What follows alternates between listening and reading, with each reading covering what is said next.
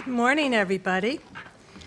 What you may not know is that President Knapp and Diane Knapp are also farmers. Besides the leaders of our university here, they have a small family farm out in Maryland where uh, they have, um, they're, they're producing wool, and their daughter is part of the growing American cut flower movement that I'm very supportive of.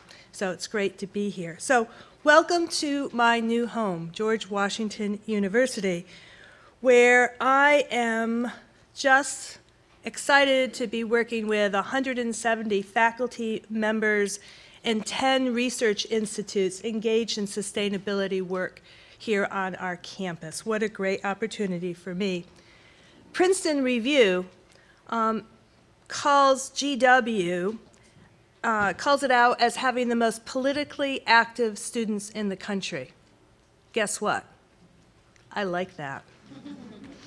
you know why? Because food, first and foremost, is a political problem. You know this. The United Nations and many scholarly works state emphatically that already today there's plenty of food to go around to feed the world. And yet we have 805 million hungry people in the world today. And you probably saw the study that came out last week that says even here in the United States now, more than half of children in our public school system qualify for free and reduced lunch. Poverty. Poverty. Poverty, well, that's a political problem. Looking forward, a lot of people talk about population growth and the need to increase food production in the world. Some say double it. I've seen projections we need to increase food production by 70 percent.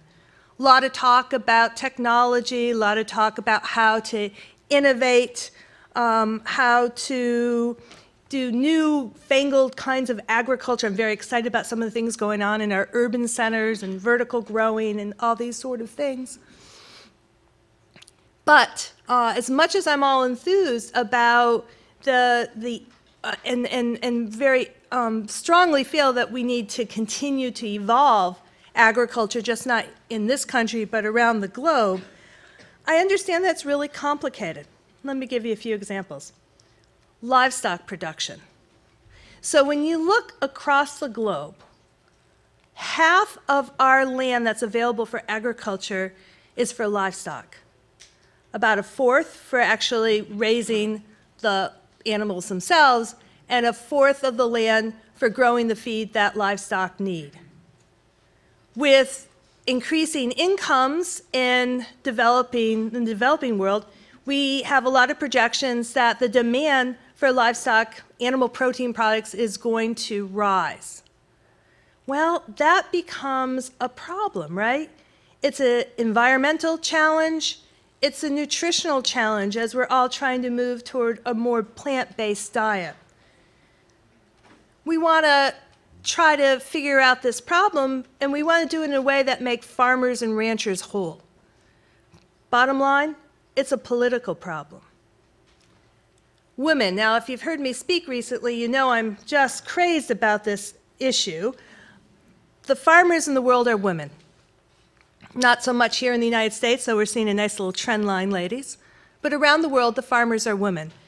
And the World Bank, and the Food Agricultural Organization have both put out reports that say if women were given the same access to education, to resources, to leadership positions as men, world food production would increase by 30%, which is the equivalent of feeding 150 million people. Women empowerment, that's a political problem. So here we are. We've got two days of great opportunity to talk, um, and to set up visions of where we can go. I don't want us to get trapped in all the negativity, all the problem statements. I want our conversations to be infused with visions of things that can be done differently. Let's um, make some bold new solutions and, and have those infiltrate our conversations. For me, there are a lot of heroes, and as my friend Theresa Marquez uses the word sheroes, in the audience. I'm going to be listening very carefully.